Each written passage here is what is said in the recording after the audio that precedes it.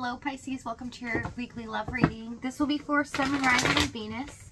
Keep in mind, energy can go vice versa, and this reading won't resonate with everyone, so take what fits and leave the rest out. We have the Grail Knight with Joy. Someone wants to revisit here uh, something from the past, possibly wanting uh, or longing here to feel uh, the way that they did before.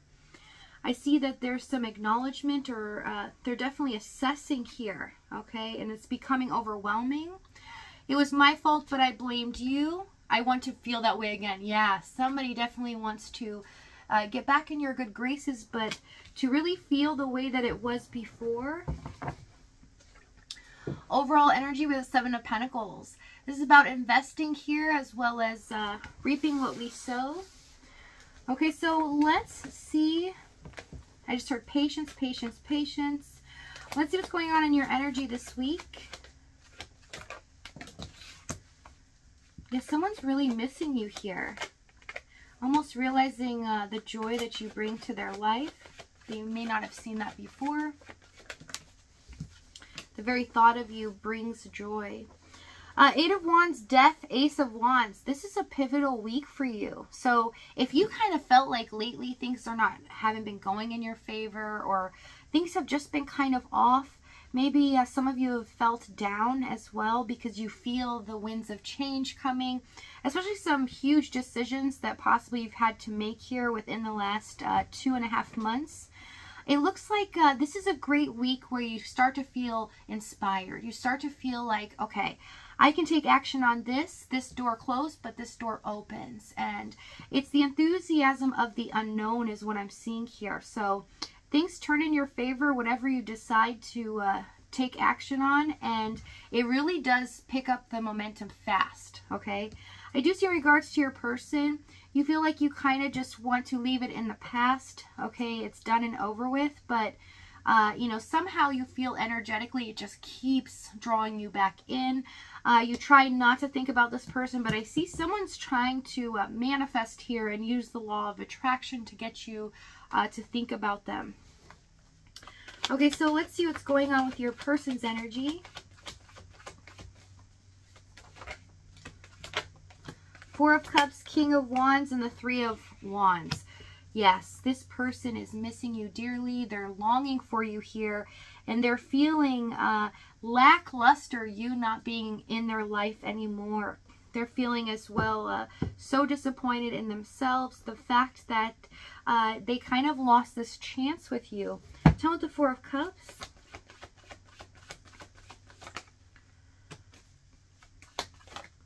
Sun, Hanged Man.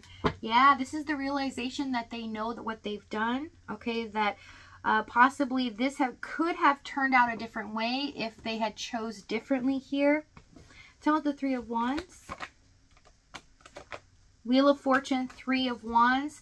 They're trying to keep positive and look towards uh, better days ahead where things would turn in their favor. There might be a chance for you two to work together here, but it's going to take a big drastic change. This could be distance as well uh, in the physical sense or emotional, uh, having to bridge that gap, really opening up from their heart space and exposing themselves here.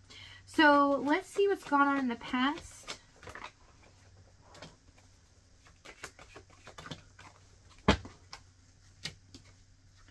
We have Seven of Cups, Six of Wands, and the Ace of Swords.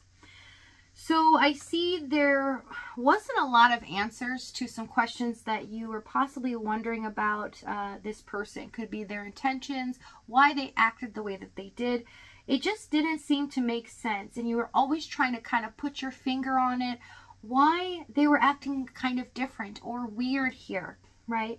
It almost felt like they were so happy in the situation, even though there was nothing going on at times or possibly left in limbo even if there's not a lot of communication, you couldn't figure out why they were happy. Why, if you care about someone or love them, don't you want to talk to them? Don't you feel the urge to just think about them all the time? And then when you get a chance or a break, you just want to uh, contact them.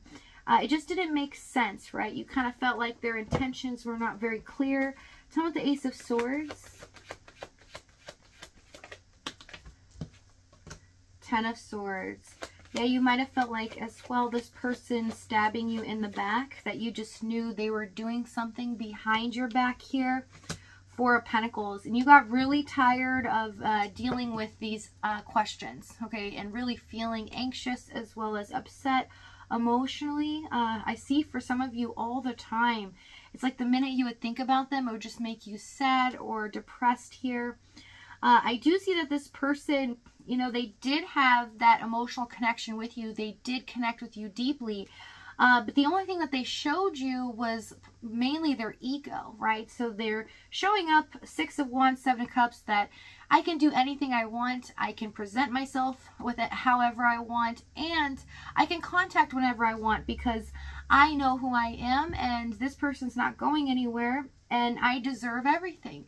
It's kind of like this uh, ego at the forefront that really put a damper on this connection. Tell me the Six of Wands. Yeah, the only thing is what's hiding underneath is that this person fears putting in work, putting in uh, and, and, hard work in this connection, dedicating themselves, giving it their all, because they fear if they invest so much into it, what if it doesn't work out?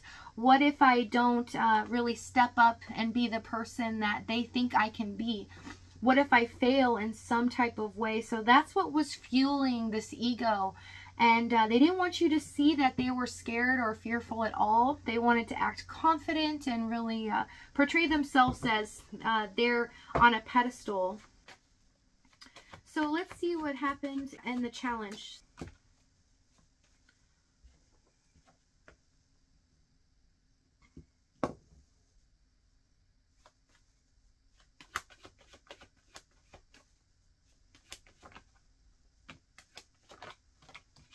We have the Fool, Five of Pentacles, and the Nine of Cups. Yeah. So this person really wasn't seeing your side of things. But as the Fool card here, they don't like to be tied down because there is this fear of failure that possibly they're just not good enough here in the Five of Pentacles. Their self-worth is, uh, you know, at a point where they feel like they don't deserve things. They don't deserve love, right? They have this schema going on where they really think that you know, they're just not that type of person that should be in a committed situation. Okay, and I do see the Nine of Cups. It seemed too good to be true, right? And when this person actually got into this connection with you, they felt like you were their wish fulfillment. They felt drawn to you here. You kind of took them by surprise a little bit and they put up the guard and put up this facade that, you know, they were cool as a cucumber and they were on a pedestal. You're lucky to be with me you're constantly getting uh, this kind of energy, right? And so with communication here, it seems almost lackluster when they would talk to you. It seems like they were not interested at times and their energy could be kind of cold and cutting here. And it's like they just kind of ignored the fact that you were in this connection. And I know this sounds weird, but what I'm saying here is they knew what you needed from them. And affirmation more talking to them on a normal kind of not daily basis but really keeping up with uh, connecting with you. They knew this but they chose not to and it's just like they purposely would kind of change the subject or act as if it didn't exist that you didn't have feelings that you didn't have a voice.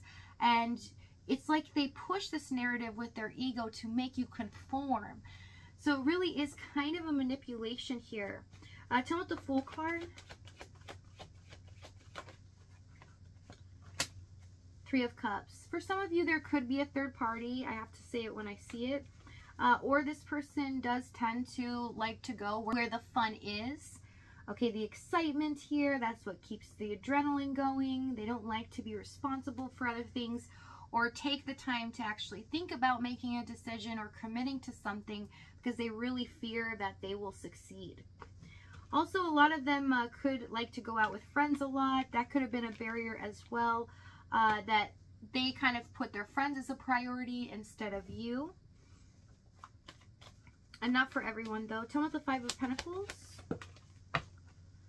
Four of Wands. It just was no stability here. This was a completely uh, roller coaster type of situation. It was like up and down, and it seemed like it messed with your emotions so much that you couldn't, by the end of this, tell which way was up and which way was down. You just knew you were so tired of it that it actually became less attractive to you. This person, it was like they were really making it hard to care about them and love them as much as you did in the past. Okay, so let's see what action they take here this week. Three of Swords, Moon, Six of Pentacles. Okay, tell me about the Moon. Chariots. Okay, so what I see happening here is we have a shift in energy. It's almost like a, a change where they're taking their misery and sadness here for losing the best thing in their life and they're they all of a sudden turn it around into something else. And they're taking action here uh, to reciprocate or do something for you that has been needed for a long time. So if this reading is resonating with you in the extended we're going to go over exactly what action they take here what they're going to say to you moving forward as well as the timing and the outcome. But if this is your last stop thank you guys so much for joining me. I love you guys dearly and i'll see you next time